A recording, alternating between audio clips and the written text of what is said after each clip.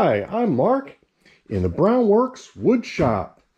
And this is a new channel. And we're going to talk mainly about our wood shop. Our, our main channel, BrowneWorks, we talk about our products, our product releases and firearms and things of that nature. Here we're going to talk about the equipment that we use and some of the things that we've learned with this equipment. Um, so we're going to have some fun. So first I want to show you, this is one of our current uh, CNC machines that we use to make our products. Uh, we use two of these in our production. And these, this is uh, CNC Piranha. This is by Next Wave Automation. And it's really a very small CNC machine. This is more, uh, most people will say this is more of a hobby type of machine but we've been in production using this to produce our grips. Um, it's a small machine. It's only a, a foot wide by maybe two, you have two foot of, uh, of uh, surface area to, to use. So this is plenty enough uh, to make our grips. Uh, we use a very small amount of this. The height, our z-axis here, it only gives us about four inches of movement, uh, but that's fine for what we are using it for.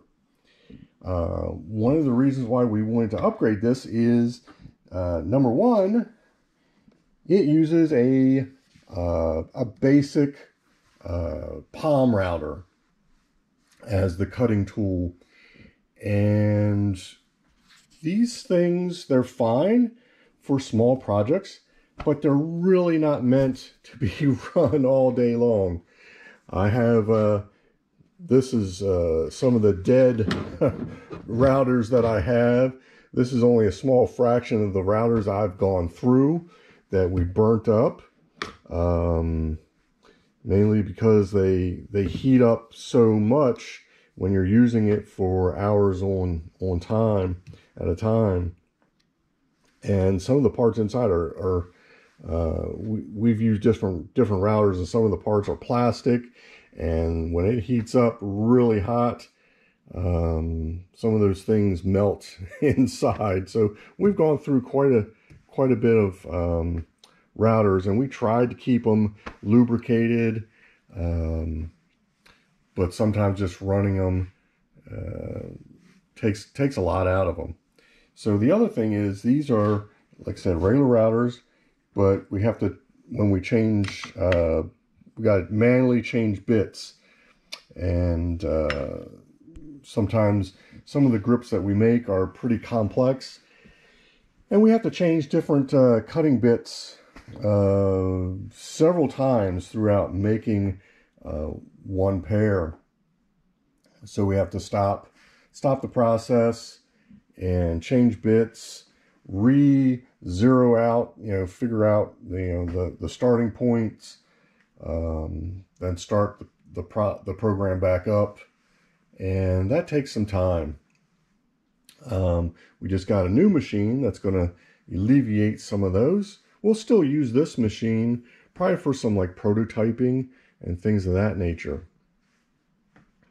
And we'll do other videos uh, about using this this type of machine and some of the things that we've learned. So uh, stay tuned for some videos of that nature in the near future.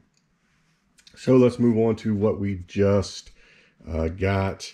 I want to show you some pictures of when it came off the truck.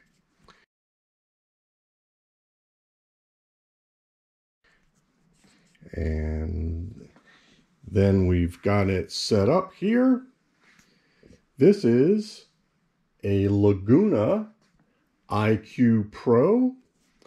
And like I said, it just we just got it situated. We had to get uh, electrician out here to get a you know power run for it. Um, this is the control box here. And the control box here for this uh, uh, CNC Piranha is this little tiny control box here. with its its pendant.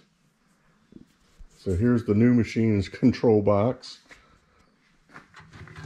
And the pendant, the control pendant for it. And here is the actual machine here. The Laguna IQ Pro. Now this table uh, is a lot wider. It's a it's at least two foot wide, three foot deep.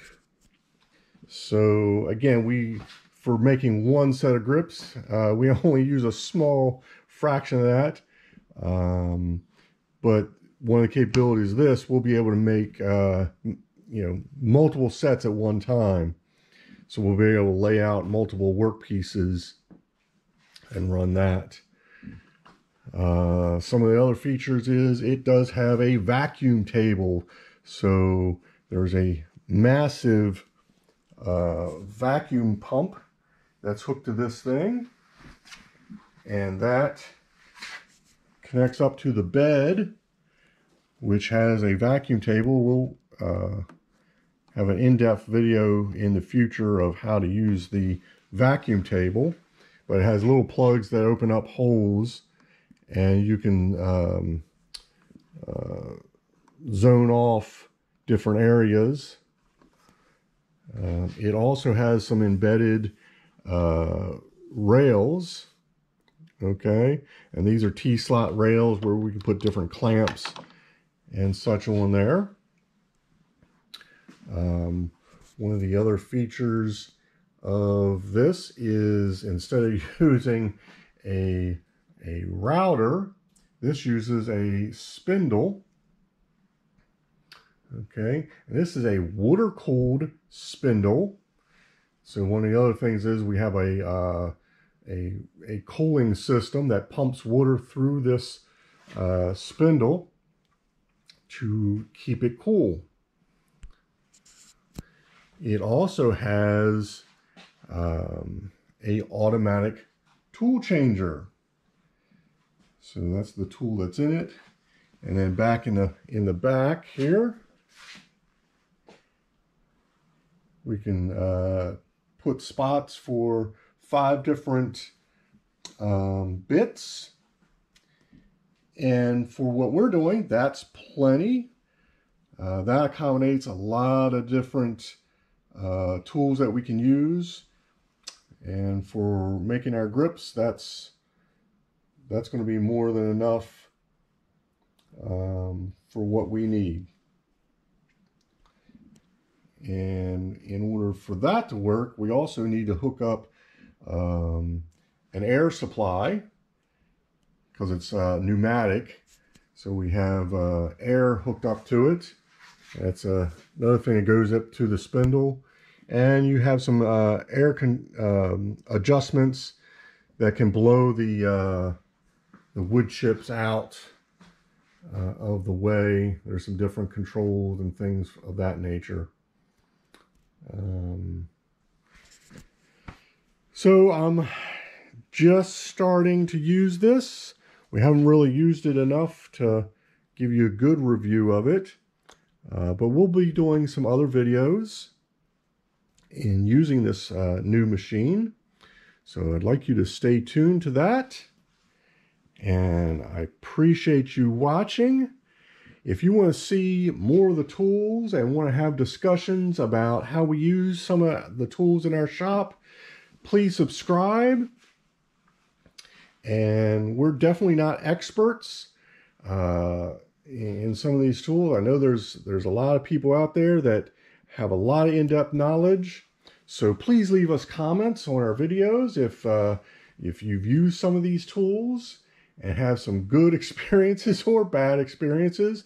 We'd love to hear from everyone. So I thank you and bye for now.